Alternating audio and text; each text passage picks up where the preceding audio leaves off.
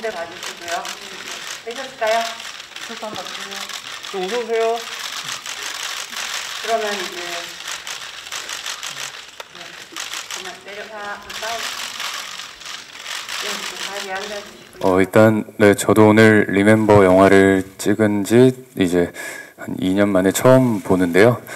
어, 촬영할 때는 이제 인규의 입장으로, 어, 인규의 시선으로 이 인규라는 역할을 어떻게 하면 잘할 수 있을까를 좀 고민하면서 촬영을 했던 기억이 있는데요.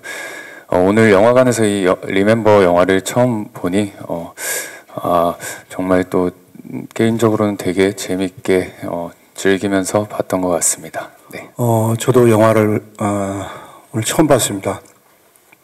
어, 그, 그 영화를 처음 시나리오를 읽고 어, 촬영하면서 어, 이 이야기가 음, 요즘 관객들에게 설득력이 있을까, 어떻게 하면 어, 설득력을 가질까? 그런 고민을 했던 기억이 있는데 어, 오늘 영화를 보면서 또 한필주란 캐릭터와 이 젊은 인규라는 캐릭터가 어, 그 조화를 잘 만들어내서 어, 어, 젊은 관객들이 예, 또 이 시대에 현대에 살고 있는 에, 젊은이들이 청년들이 이 영화에 에, 조금 더 몰입하고 영화를 좀 더 이해할 수 있지 않을까 아, 하는 어, 기대를 하게 됐습니다.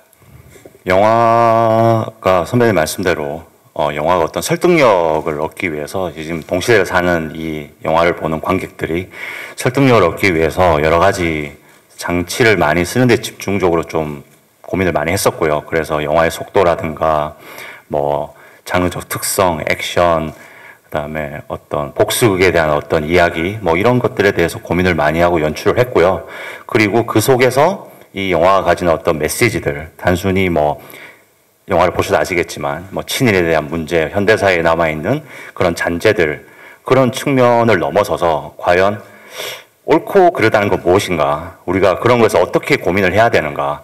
그리고 필주의 사적 복수마저도 과연 우리가 옳은 것으로 봐야 되는 것인가? 뭐 이런 여러 가지 측면을 대해서 고민을 할 수 있는 그런 영화를 만들려고 예, 노력을 했습니다. 있고 영화를 보면서 어 뭐 좀 부끄러운 얘기지만 음 저는 제가 찍은 영화를 보면서 좀좀 울었습니다. 예. 아마 이게 촬영한 지가 좀 시간이 오래돼서 어 저하고 약간 좀 이렇게 시- 시간을 두고 좀 떨어져 있다가 제가 예, 다시 만나서 어 뭔가 어, 새롭게 제가 조, 조금은 객관- 객관적으로 영화를 볼 수 있었던 것 같아요.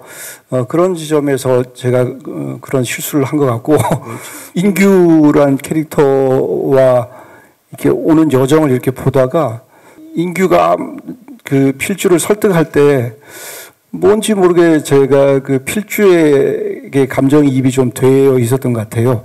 어, 그래서 나도 모르게 에, 그런 반응이 예, 예, 이, 아, 이야기를 내가 왜 했을까? 예, 예, 났었어요. 근데 이제 뭐 그 주역군이 바로 옆에 앉아 있어서 차마 제 영화를 보면서 제가 그럴 수 없어서 많이 참았던 참았습니다. 네. 그리고 영화 보자마자 감독님한테 고백을 했습니다.